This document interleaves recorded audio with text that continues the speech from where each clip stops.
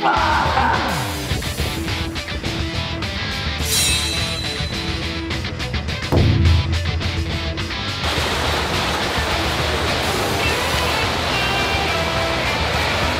ジ泣きそう。えー、ここでやったら嬉しい。すごい。ちゃんとした人も勝者だって言われてるスポーツなので。全アスリートに聞いてもらいたいと思いますよね。おはようございます HY では好きな曲は AM11 時杉谷拳士です。テンション低いですね。そんなことないでしょ。全然そんなことない。今から始まるんだという。何時ですか今？えー、AM5 時45分でございます。早いっすね。はい。いやでも本当にもう申し訳ないです。こんな朝から呼び出してしまって。今あの千葉県稲毛市に来ております、もう大会いよいよもう1ヶ月後には行きますのでようやくあのウェットスーツを着て初めて泳ぐスイムトレーニングです。森田さんにいろんなことを伺いながらしっかりトレーニングしたいなと思います、はい。森田さんえートライアスロンの今日から僕の師匠になる方です。はい。いやもう今日勝負ですからね、はい。あの本当に久しぶりのえスイムやらせていただきたいと思います。でも今日ある程度のイメージをつけて、えー挑みたいなと思います。何キロ泳ぐ2キロです。で今までそういう遠泳とか長距離の泳ぎって経験ないですね。最高で1 5 6 0メートルだったので。はい。いやでもやるんですよ。愛なんでやっぱり。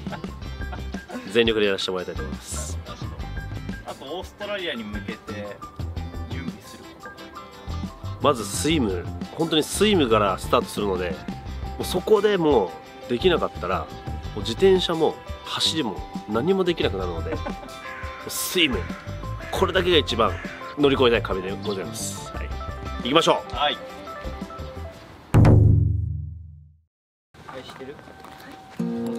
あ、はじめまして。元プロ野球選手の杉谷と申します。何回かーあ上ないですけど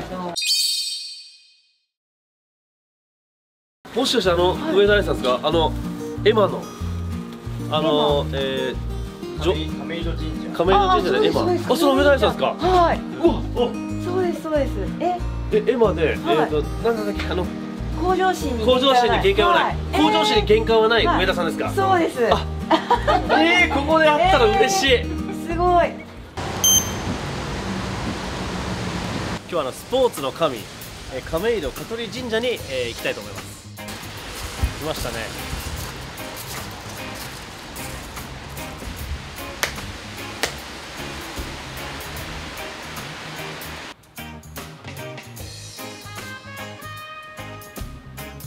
あ、いや、そんなことないですね上田愛さん。競競技名見てくださいトライアスロンじゃないですかこれから僕がトライアスロンにもう挑戦しようと思いましてそのあの思いも先ほどあのお祈りさせていただきまして上田愛さん。向上心に限界はない向上心に限界はないん。ですよ上田愛さん私6月行ってまいりますので。えー、すごい。えトライアスロンにチャレンジあるんですか？はい。1うわー。ヶ月後にはい。えどのライフですかはいあケアンズああそうなんですね。オーストラリアではい。へー。私も今アイアンマンの方に転向して 頑張ってるところなんで。いやーなんかあったら言ってください。いやもうでもなんかなんかありますよ。めちゃくちゃ。ありますよね。めちゃくちゃあります。行きましょう。よろしくお願いします。よろしくお願いします。今日の初心者コースで泳ぎ方のコツとかあるんですか？なんかこういいつもクロールとかしかあんまりしたことないですけど、はいはいその海の中で泳ぐときになんかこうよく前を見て泳ぎなさいって言われるんそうですけどですね、あのコースロックない、線引いてないところで泳ぐので、しっかり周りを見ながら泳ぐっていうことと、あとは人がやっぱりぶつかってきたりとかで、自分のこのスペースにこう人が入り込んでくるってことがプールだとないので、そういったことで結構、海でもしっかりと泳ぐ練習はやっておいた方がいいと思いますよね。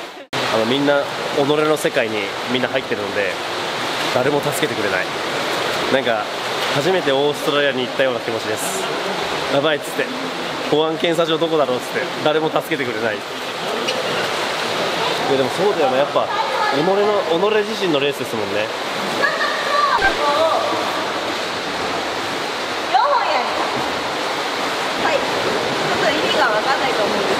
はい、あのボディポジション。わかります？あの自分の体のポジションです。そうですね。スイムの時ってこう高いところに水面に近いところにボディポジションがないとよく手に乗る手に乗るって言うじゃないですか、はい、足が下がってる手には乗れないんですよ絶対あなので足が下がっちゃいけないってことです、ね、そうですボディポジションを上げるために大事なのはこのダウンキックだけじゃなくてちゃんとアップキックなるほど。足を水面に戻してあげるっていう動作を意識的にやっていかないと体が高いキープできないので足の重さで引っ張られてボディポジションってどんどん下がっていっちゃうので足をできるだけ地上に出すみたいなイメージ。非常になんか水面に戻す水面に戻す地上に出しちゃうとそれ以上はもう空気だから蹴らつけても進まないので上に戻すってことを意外と皆さんねしないんですよ。結構はい蹴りっぱなしにしちゃうので、はいちょっと下がってちゃうから上げる練習です今。ははいい僕はじゃあビート板使ってやるんですそうです。でリード板にそうすると乗れるんですよ。体が上がるから。はい。こうリード板ってこうやって持って練習するんですけどそれをあえてこうやって持って上がるから乗れるそうあすると沈めるんですよ手先じゃなくて体からちゃんと沈めるようなイメージで今は練習をしてもらってますあはい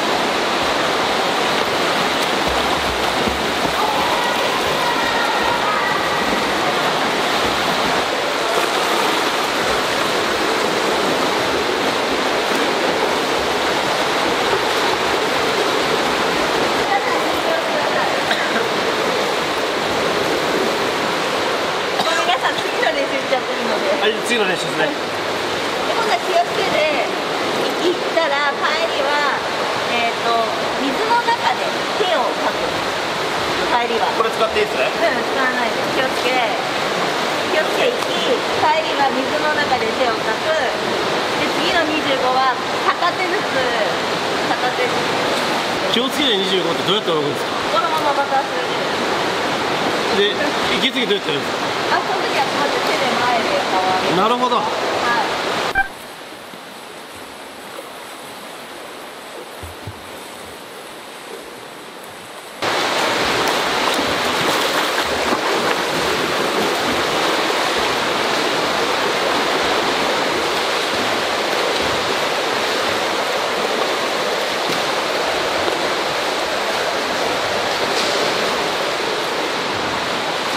これはまずい今2往復2往復まだ 100m しかないです。あと1900 m 海の中立てないですか？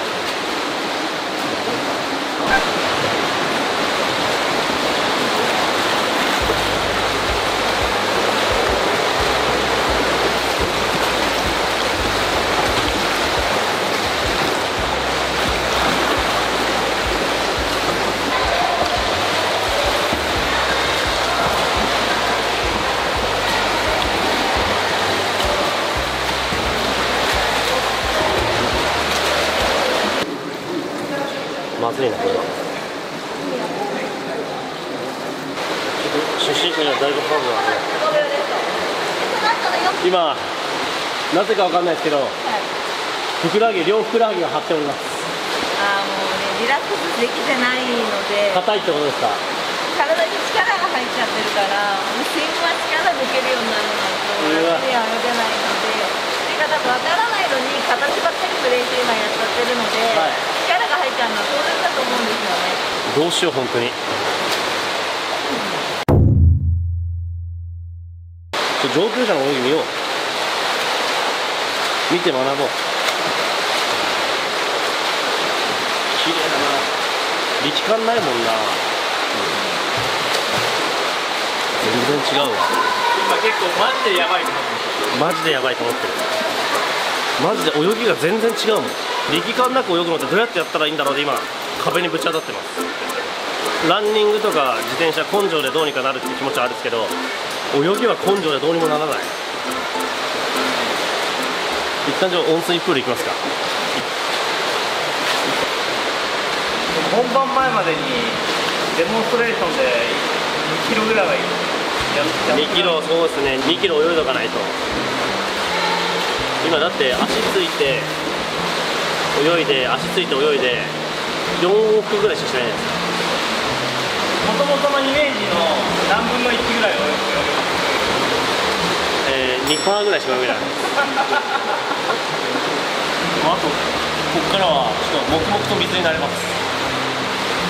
これマジでやばいわ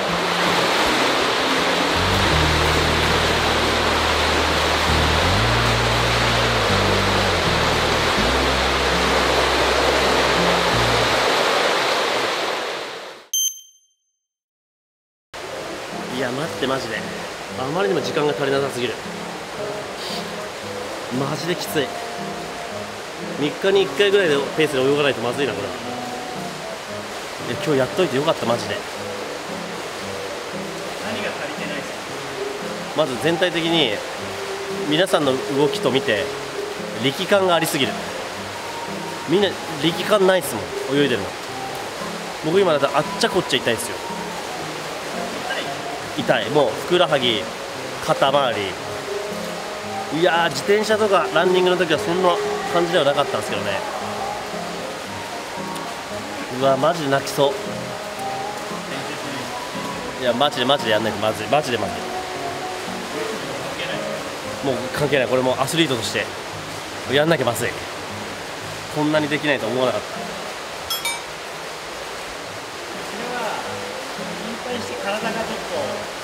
衰えてるのかそれよりももっと前提としてや前提としてまずいです。衰えてたら多分45回泳いだらイメージつくんですけどもう前提としてまずい。一旦ちょっと休憩。やばいマジ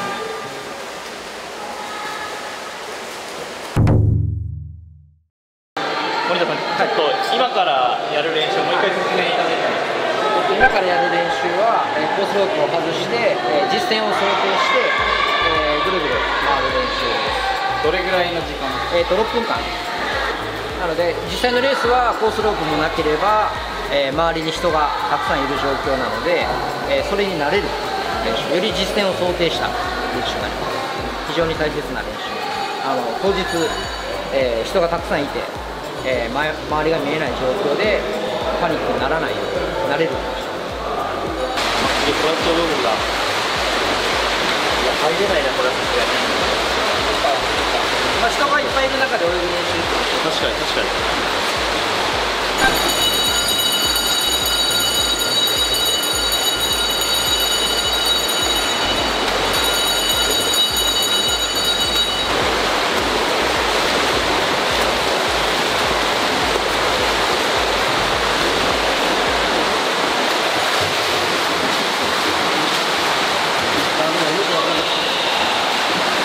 ちょっと邪魔になってるわ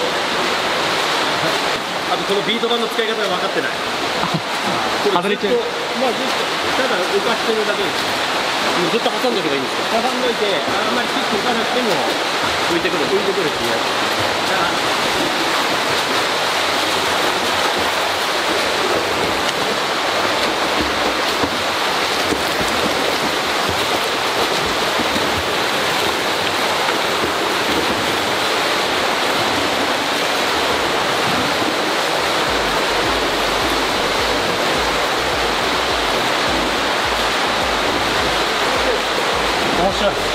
なんかやっぱ波がブワーッと押し寄せてくるんで呼吸止めすぎっすか？あ一回一回いいっすね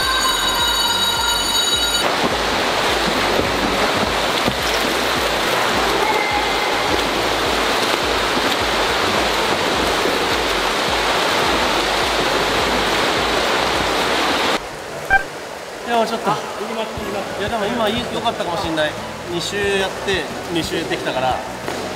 いやー。でも息継ぎできたのめっちゃ嬉しい。いやでも待ってよ。今日まず 400m でしょ？でさっき2周2周でしょ？600700ぐらいですか？全部で。オリンピックに2008年の北京から北京ロンドンリオと。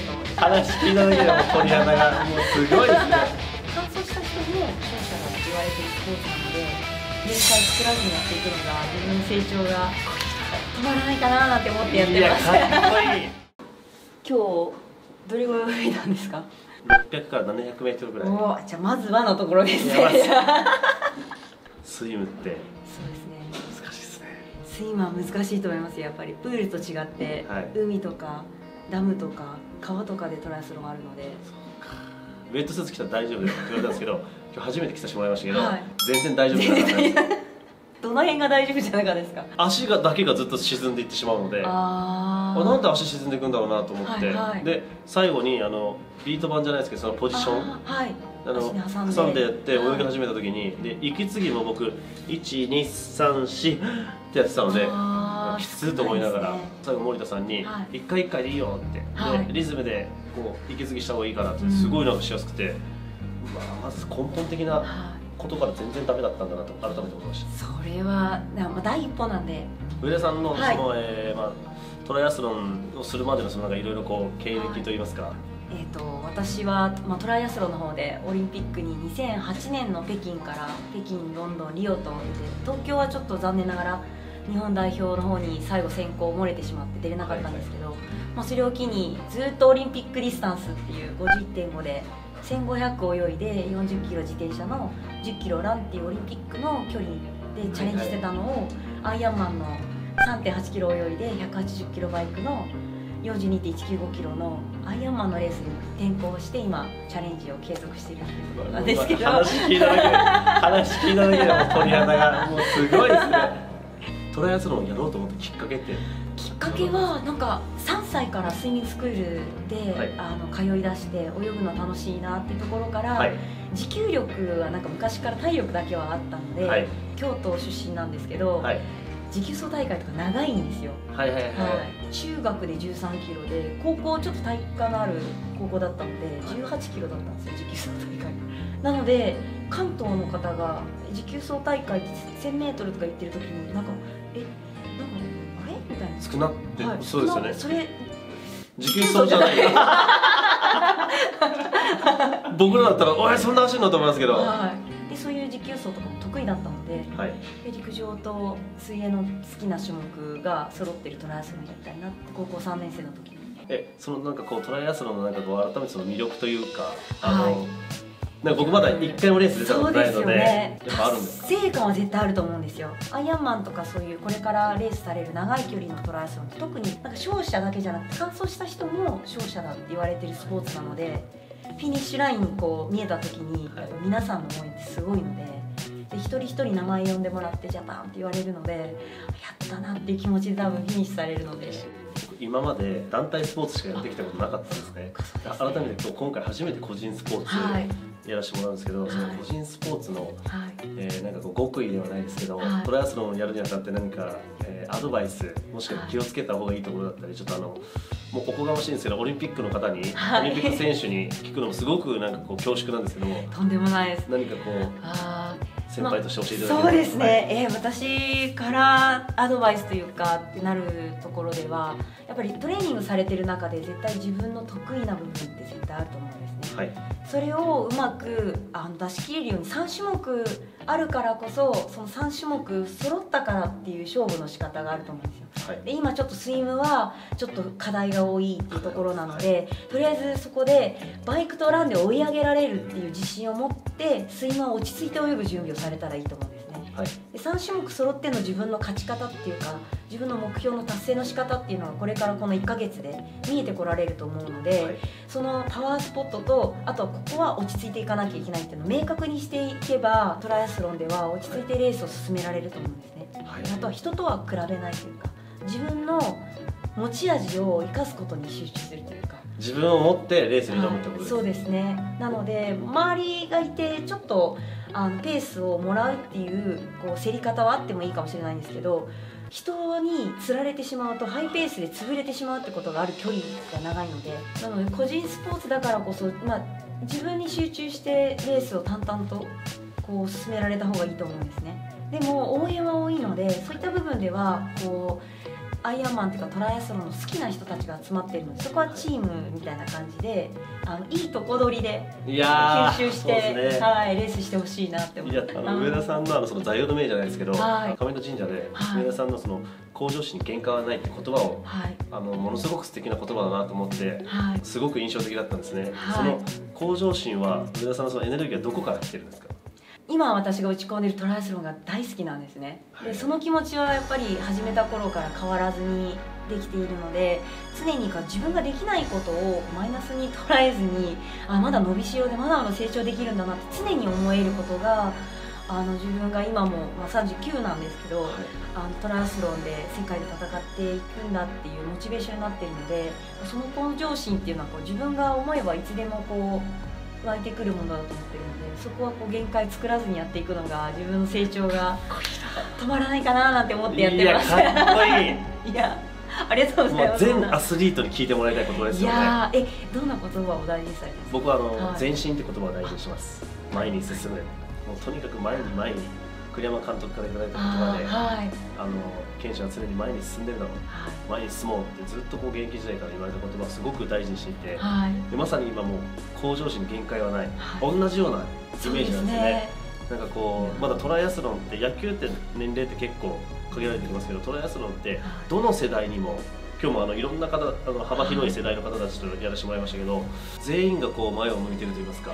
今こうやって健康志向の方がすごい増えているじゃないですか、もうどの世代も幅広くははい。い、で結構ウォーキングとかあのジョギングってすごくあの、まあ、シューズ一つあればできる種目でもあるんですけどより健康志向の方が増えてサイクリングされる方も増えてでスイミングって言ってアクアウォーキングされて、水に浸かって気持ちいいなっていう方それぞれはいるんですねでもトライアスロンって3つ揃ってるからなんか3倍しんどいって思われがちなんですけど一つ一つ絞ってみていただくとスイミングサイクリングランニングジョギング。じゃないですか、はい。なので全部あの有酸素運動で健康スポーツなんですよなのであの幅広いあの世代の人ができるっていうのはそういう一つ一つの種目が有酸素運動で自分のペースでやっていくっていう点では3種目ともすごい健康スポーツなのですごく障害スポーツにつながるんですね、なんですけどいろんなところが見え隠れしてトライアスロンちょっとやばいなって思われがちなんですよね。そうですよね、